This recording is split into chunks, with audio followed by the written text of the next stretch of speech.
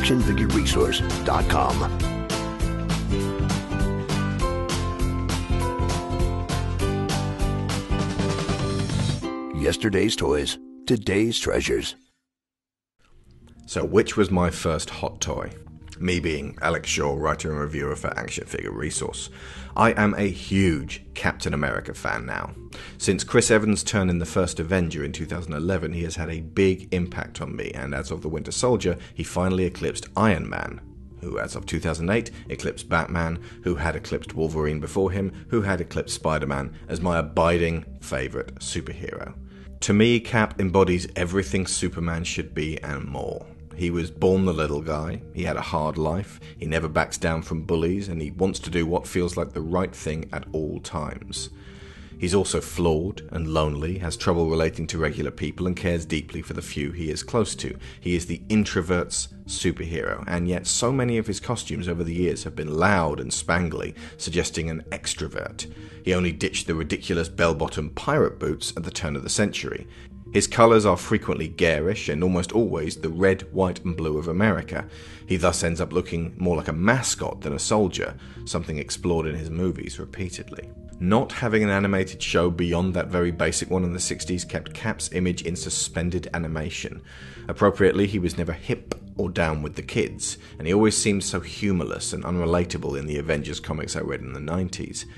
He went from being this kind of ageless, lantern jawed, super serious Rip Van Winkle in the earlier Marvel comics to a violent maniac in Mark Millar's Ultimates, who stood for not much of anything as long as he could pound America's enemies to being an experienced special agent and underground freedom fighter in the Civil War comics and the Ed Brubaker run, fighting for personal liberties, to finally, with the Marvel Cinematic Universe being this handsome, wildly charismatic, super athletic, and muscular man of my own age, who, it's worth saying, caught my wife's attention too.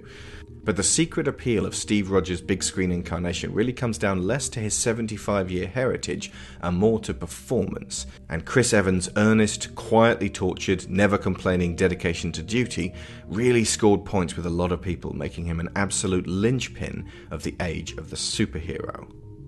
The MCU is responsible for several of my top 10 movies, so when I looked into getting my first hot toy, Cap and the other Avengers were the figures I continuously perused. After the third Captain America movie, Civil War, I decided if I was going to get one at all, it would be Steve. But then I had to choose which of his many outfits to pursue. There was the World War II fatigues of the first Avenger, as well as the improvised gear he throws on to rescue Bucky, and the ridiculous Star Spangled Man. After that, there was his turn in Avengers. I'm going to call it Avengers Assemble, as it was renamed in the UK to avoid confusion with the Avengers in general, or the first Avenger. The Avengers Assemble version I always felt looked a little awkward, especially in the cowl, not a million miles away from the skin tight wetsuit of Kick Ass. And then there was the Winter Soldier Shield Strike costume, which was a huge step up, making him a commando and being tied to one of the most thrilling action sequences in the MCU to date, the Lemurian Star. This one was available relatively cheaply second hand, and I genuinely considered it. The problem was the Blue Shield, a deliberate inversion of his red, white, and blue classic. Practically speaking, this was for the purposes of a stealth mission, but symbolically, this was Captain America being used as a black ops and espionage weapon by S.H.I.E.L.D. Additionally, this figure did not have the alternate unmasked Steve Rogers head, which is a huge bonus and a big part of Chris Evans' character. I rationalised that I would have to buy a red shield and an additional head, which would effectively cancel out the saving of buying this cheaper figure. Though that would still get me a brilliant version of Cap.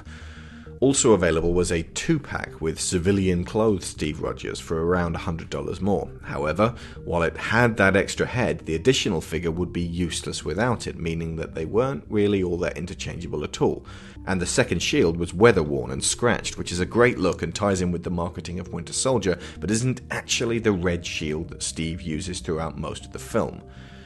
I would still need to buy that third shield separately. The first Avenger outfit was reissued here as it makes a major appearance in the third act of Winter Soldier.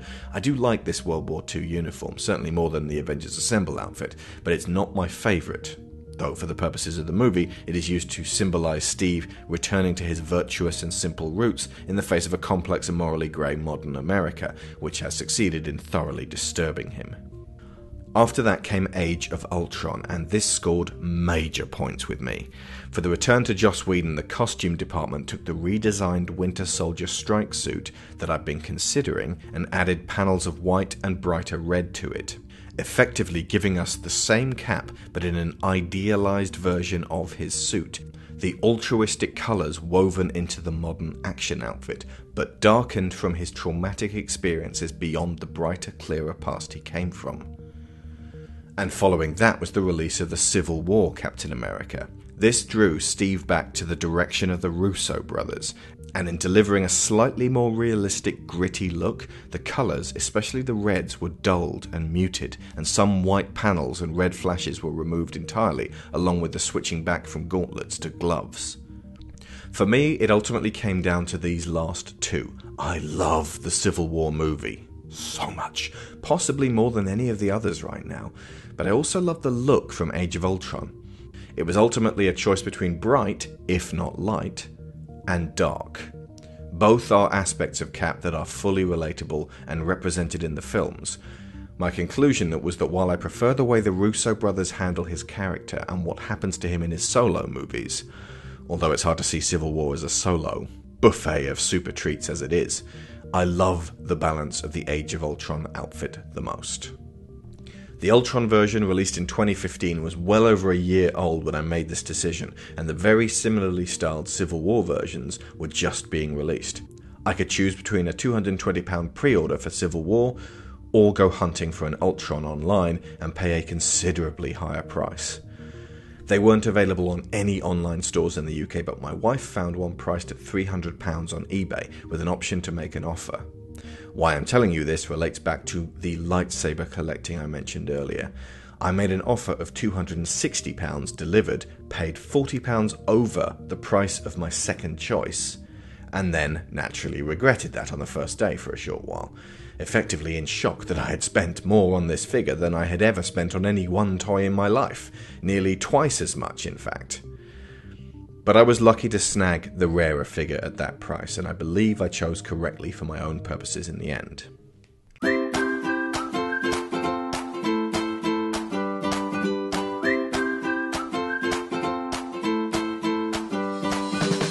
ActionFigureResource.com. Yesterday's toys, today's treasures.